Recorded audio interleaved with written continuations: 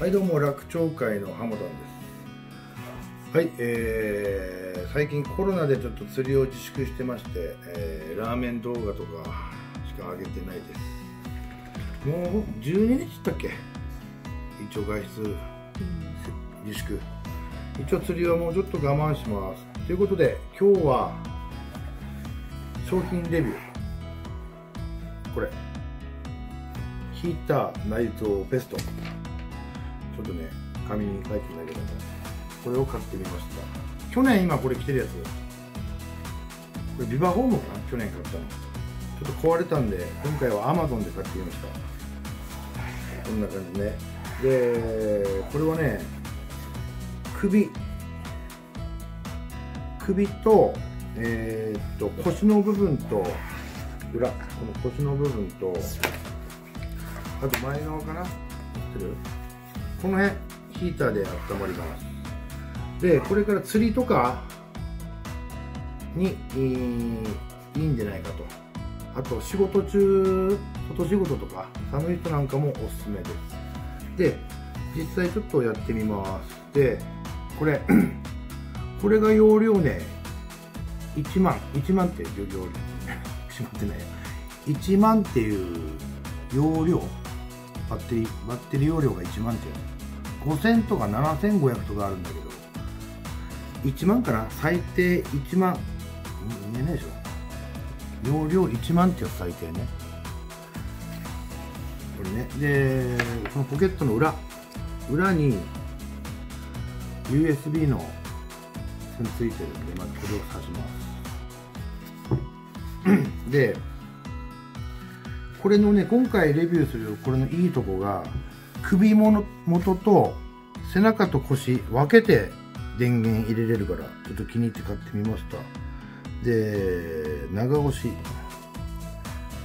長押しすると赤くなります。これ今首元と背中が温かくなってます。こっち。これね、えー、これは前側かな。前側と背中よりとした下側か。こっち側の方が温まります。で3段階。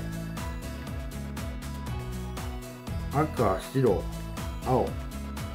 3段階温度が切り替えでマックス、えー、ちょっと見ながら食べます。マックス、えー、45度か。赤。これでマックス45度です。で青。あごめん。白。白がマックス35度。で青にするとマックス25度のあったかさになります。でちなみに25度青い色25度にしとくと多分78時間ぐらいこの1万の容量のバッテリーで多分8時間ぐらい持つかな使ってみた感じ持つかなって感じででちなみにこれもちょっと今回 Amazon で一緒に買ったんですけどこれがね容量がね2万6800超巨大バッテリー。重たいです。スマホみたいなこれも一応これも3000円ぐらいかな。買ったら。でこのベストがうんと Amazon で5000円ぐらい。サイズによってちょっと変化しますが。